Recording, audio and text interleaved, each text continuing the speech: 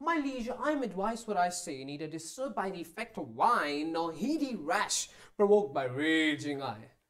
Albeit my thoughts might make one wiser mad. This woman locked me out this day from dinner. That goldsmith there, were he not packed with her, could witness it, for he was with me then, who parted with me to go fetch a chain, promising to bring it to the to, to, to the Porpentine. Balthazar and I did dine. I, I, I did not dine, and he not coming thither, I went to seek him.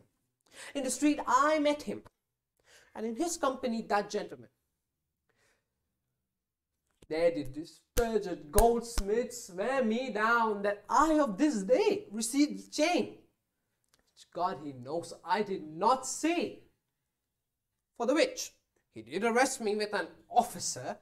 I did obey and sent my peasant home for certain ducats. He with none returned.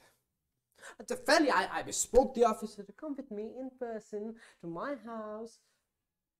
By the way, we met my wife, her sister, and a rabble more vile confederates.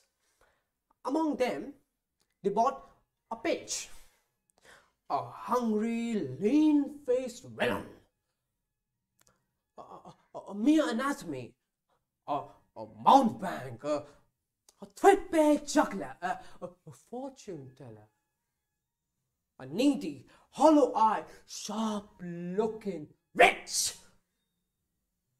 A dead looking man. This pernicious slave took on him as a conjurer, gazing in mine eyes, feeling my pulse, and cries out, as it were, with no face, I was possessed! And then altogether they fell upon me, bound me, and bore me thence to a dark and dankish vaulted mine house. And there they left me and my man, both bound together till gnawing with my teeth my bonds in sunder, I gained my freedom, and immediately ran hither to thee whom I beseech to give me ample satisfactions for my for my great shames and great indignities.